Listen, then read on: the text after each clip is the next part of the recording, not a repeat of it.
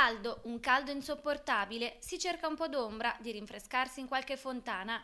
Le temperature sono roventi e nei prossimi giorni potrebbero superare i 35 gradi. La percezione del caldo è ancora maggiore per via del tasso di umidità alle stelle.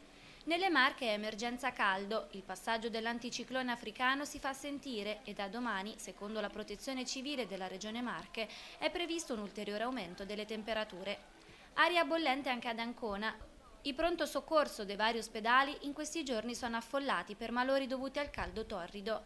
A risentirne maggiormente anziani e persone con problemi di salute ricorsi alle cure dell'IRCA. Noi stamattina siamo assolutamente pieni, state, sono molte persone da ricoverare e quindi ci siamo attivati già dalla prima mattinata per cercare posti letto in ospedale dove poterle ricoverare. Nei nostri pazienti molto spesso il caldo provoca un peggioramento di malattie respiratorie, cardiache, provoca magari una disidratazione con un peggioramento dell'insufficienza renale e anche degli stati confusionali.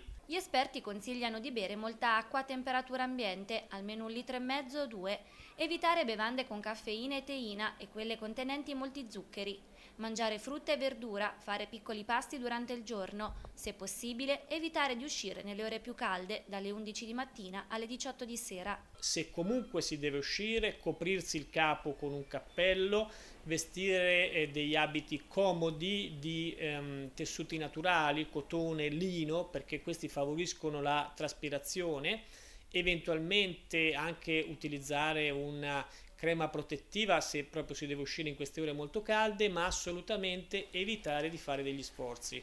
Cercare di eh, tenere appunto durante il giorno i condizionatori attivati se sono disponibili, non con una temperatura troppo bassa, 25-26 gradi, di solito è una temperatura giusta, ed attivarsi nella prima mattina e nella sera per tenere invece le finestre aperte e favorire la circolazione di aria.